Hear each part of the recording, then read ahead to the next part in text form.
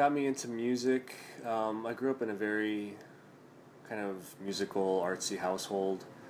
Uh, my dad was uh, obsessed with music. Uh, he was a drummer in a band growing up in Mexico. Um, he loved rock and roll, so I grew up hearing all those classic rock records uh, Pink Floyd, Jimi Hendrix, The Who, Led Zeppelin, Beatles, Jefferson Airplane, all that stuff. Uh, my earliest memories are hearing those records in the house. Um, then as I got older, uh, and playing a lot of the stuff from the 80s, you know, uh, The Police, U2. Uh, so he was really a big influence on my tastes, um, and there was just always music in the house playing. He played piano, he sang, so I grew up in a musical environment somewhat. Um, at age 14, he bought me a guitar, and I was a bit timid by it. Um, I didn't pick up on it quickly at all either. Uh, so he, he pushed me and forced me to take lessons. And I took lessons for a year and uh, basically the teacher taught me the basic chords and scales and then started having me bring in songs I wanted to learn. So I did that for a year. Um, and then after a year of lessons, um, that was it. I wanted to go off on my own and learn things, and so that's uh, that's how I got into all of this.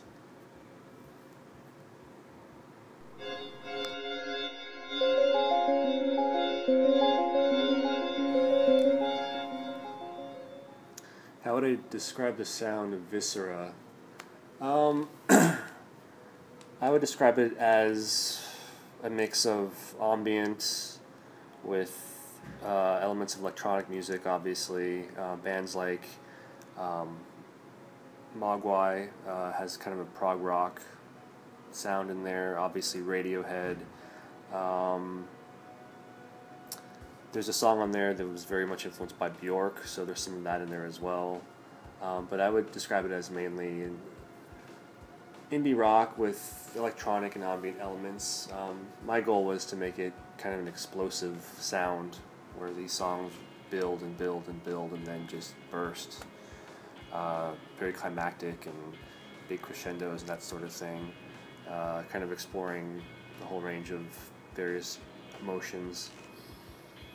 Um, I guess that would probably describe it the best, I suppose.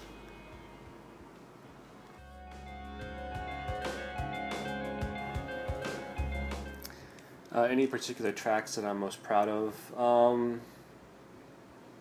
I mean, I'm proud of the whole thing, obviously, um, but I would say um, Reality Loops, track two, and The Messages We Left. Uh, those two I'm especially proud of. Uh, they were a lot of work. Um, I'd also put in, well, the last track too. The last two songs are older songs. Um, Departures is 10 years old. Uh, it's a song that I've had in my recording files for a very long time. Something that I, it's a guitar melody I came up with a, a long time ago on a looping pedal, and I knew one day I would make it a song uh, once I felt that I was good enough with all the production aspects. Um, Reality Loops is a song I'm proud of because it just it was a song I spent weeks and weeks on uh, on the composition and uh, that synth melody that plays throughout it was actually originally played on guitar. It's a riff on guitar. On I played it in a very kind of tricky time signature. Um, the drums are in three four, but apparently my friend tells me who's more uh, who's more savvy with uh, music theory he says it's in six eight. But um, it was a really tricky guitar riff to play, and I I knew this this album was going to be a guitar heavy album but I didn't want all the riffs to be on guitar, so I ended up transcribing it to, to keyboard and playing it on the synth. And that's what you hear on Reality Loops is that synth melody that plays. It sounds like an arpeggiator, but it's not. I actually had to play it note for note, so it was, uh, it was tedious learning it from guitar to that. Um, at least for me. So I'm I'm definitely proud of how that how that turned out.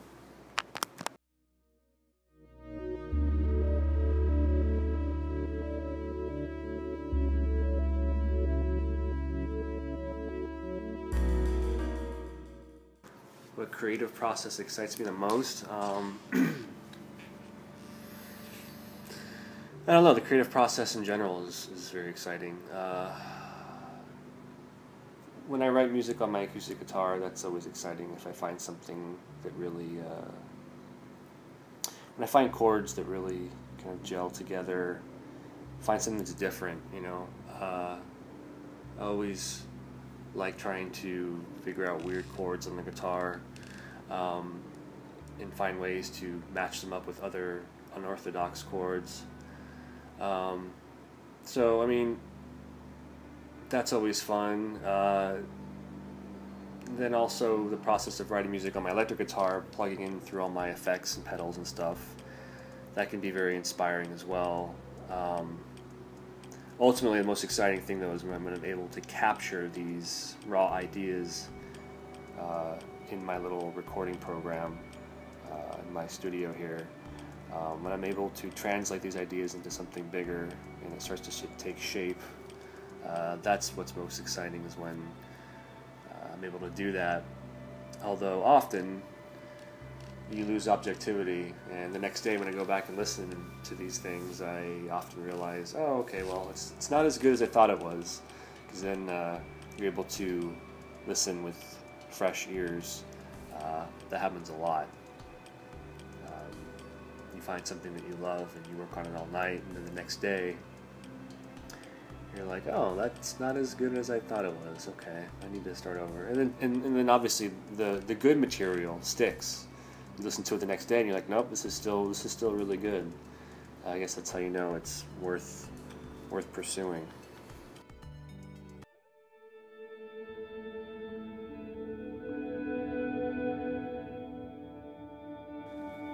A song is finished? Um, I guess when I decide that it's finished. um, from a composition standpoint, uh, ideally, you want to have the song already mapped out. Otherwise, it can be a very big headache. You know, but sometimes you're in the studio and you're just messing around with ideas, improvising, creating textures, throwing ideas on the wall. I mean, really, it's what it comes down to. Unless you already have something specific in mind and it's already structured and mapped out, often it's just throwing you're just throwing shit on the wall and seeing what sticks. And that's a very tedious process, and sometimes you lose objectivity and you have to step away. I always, I always talk about it in terms of like cooking almost. It's like you, it's akin to letting something sit and simmer, uh, letting something uh, kind of um, you, you, you revisit the song a few days later and see how it's coming along, seeing if it's if it's still good to your ears. Because when you're in the thick of it, you, you think you're doing the greatest thing ever, and then the next day, you know, it's not good. Uh, so like I, I like to say that it's like I let I let the songs marinate for a while and this, you know take a break from them in a couple weeks and see how everything's sounding. Um, but yeah, it's hard to say when a song's finished. I mean, unless you already have it all written before you even record, then that's very ideal. But if not, if you're just starting from scratch in the studio, then it's it's trickier. Um, and then and then there's the whole post production aspect as far as when is the song done, as far as it being properly mixed, and all those things. And that's a whole other subject, and um, that takes some time as well.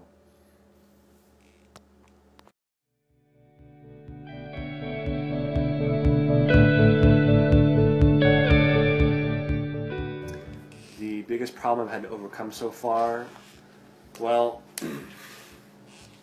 musicians have it really great these days where the technology is so advanced that you can record full songs on a tablet uh, or even your, your, your smartphone. Uh, it's amazing. I mean, growing up, if you had ideas for a song you wanted to record, you had to, you had to buy you know, digital recorder or buy like a four track, or you know, if you had money, go into a studio, and that gets expensive incredibly fast.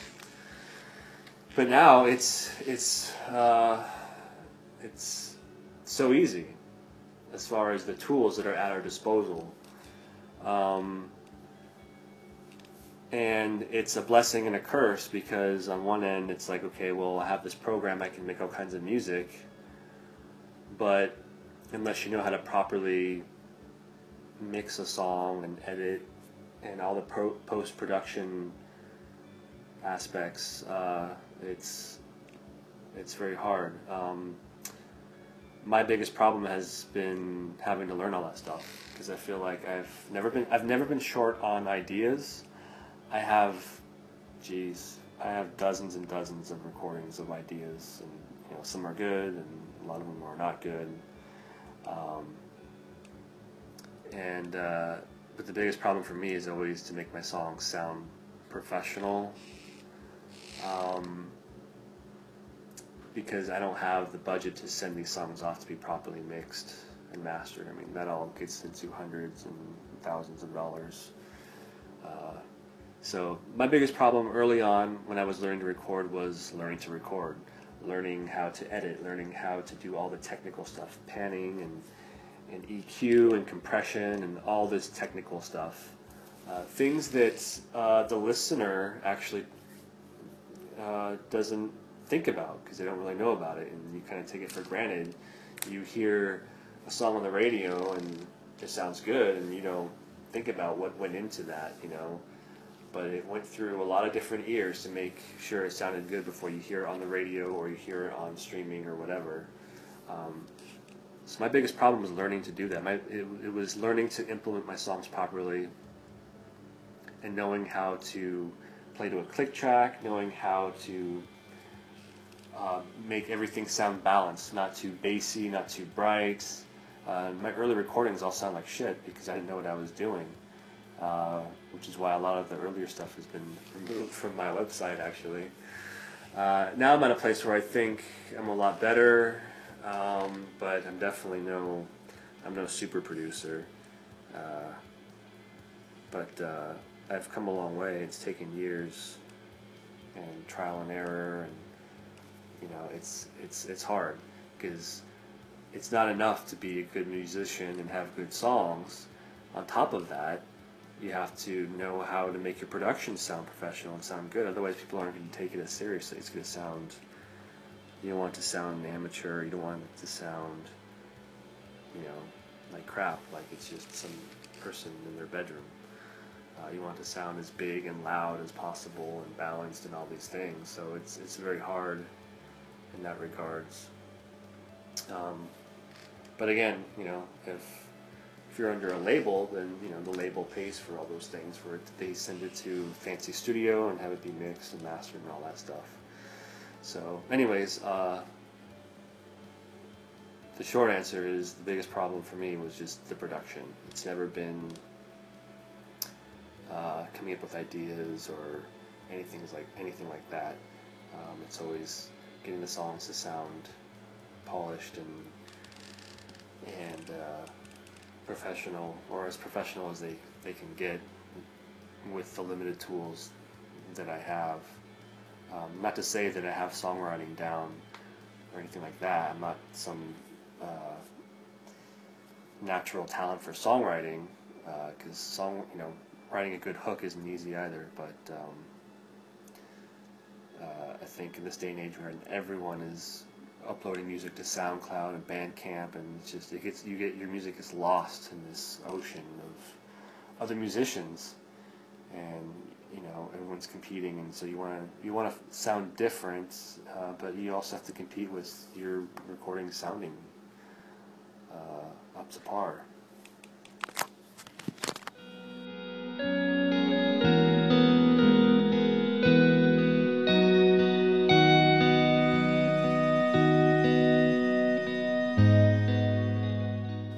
My biggest influences, jeez. Um, there's a lot, and it's just grown and grown over the years. I mean, in my early 20s, it was always like the big three, you know, like the big three were U2, Radiohead, Pearl Jam. Those are my big three. And then over the years, it's it's, it's just expanded, you know, because I've been listening to a lot more experimental music and electronic music. Um, so I mean, you've had, as far as biggest influences, you know, geez, outside of those, mean, you have Bjork, um, Apparat, Anstam, uh, and then wild bands like Deerhoof, who are, you know, they've been around for 25, 30 years, and they're an amazing uh, wild band that defies all genre and conventions. Uh, they're a band that I've been really, really in love with lately. Um, and then, you know, even classic rock still influences me. It doesn't really find its way into my music much anymore. But, uh, you know, um, so th- those are some of the, the bands that, that me. Um, Nine Inch Nails, Trent Reznor. You know, I love the stuff that he does with Atticus Ross for all of the uh, film scores. Um, their their their sound is a big influence on what I do as well. Um, and then for like you know more raw rock and roll, I mean, there's uh, the Dead Weather, the Kills. Um, there's it's just there's so much. Um, I find so many unknown bands too on Bandcamp that are that are really good. Um, let's see who else. Uh, Tycho to a degree is sort of an influence. Um, but uh, uh, let's see another band out in LA um, called Autolux. They, they're a really great band that uh, kind of influences me to a degree. There's a lot of stuff though. Uh, I mean, you know, I listen to any, anything from rock to hip hop to electronic music to jazz, uh, you know, baroque music, all that stuff. It all kind of just goes into the blender. It just depends on my mood. I, I have this approach where I like hearing something and I'm like, oh, okay, I want to try that. Okay, I'm going to go into an electronic phase now. I'm going to try that. Or oh, I want to try to do something poppy, you know. Um, you know, see see what. Uh, see what comes out of that. You know, I guess it just depends on what I'm currently listening to. I guess. Um, speaking of like uh, uh, indie pop, um, Caroline Rose is an artist I discovered over the last year. She's really good, uh, really fun, and uh, something I've been, someone I've been listening to a lot. Um, but uh, yeah, I mean, I could talk all day about influences, uh, and uh, you know, there's just there's a lot of new music. I'm just always discovering, browsing through iTunes and Bandcamp. I mean, there's a lot. There's just so much out there, uh, and some of it I'm just very late to the game too. Um, but um, yeah, I guess those are just some of some of the ones that are coming to mind.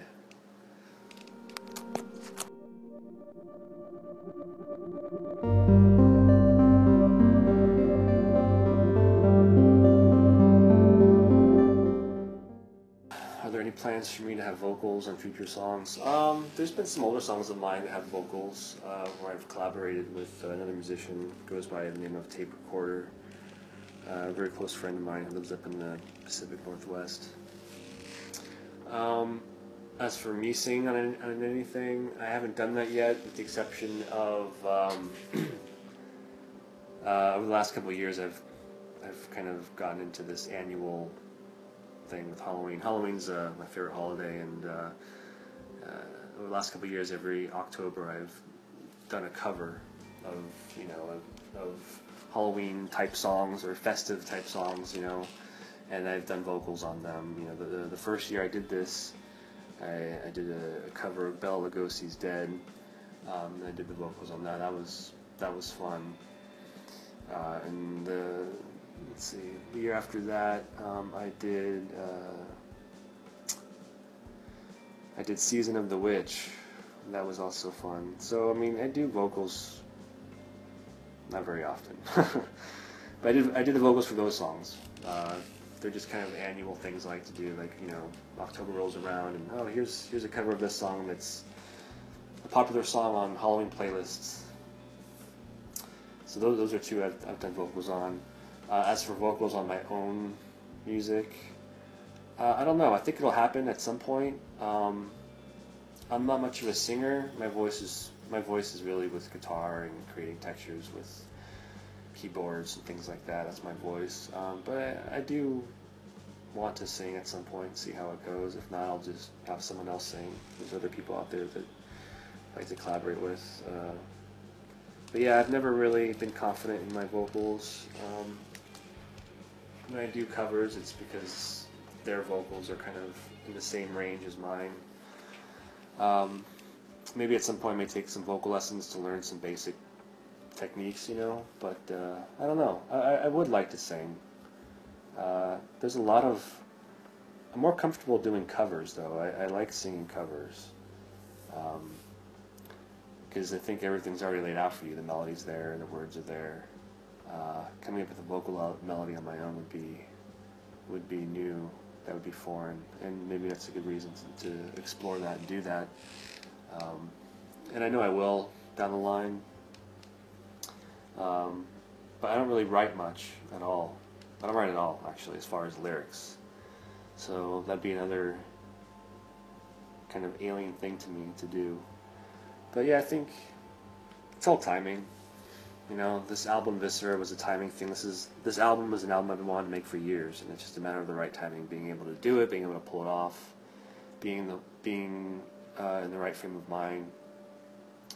And when I do an album where I sing on it, it's also going to have to, to do with timing and wanting to say something specific and using that as the vehicle to say it. So yeah, I guess we'll see.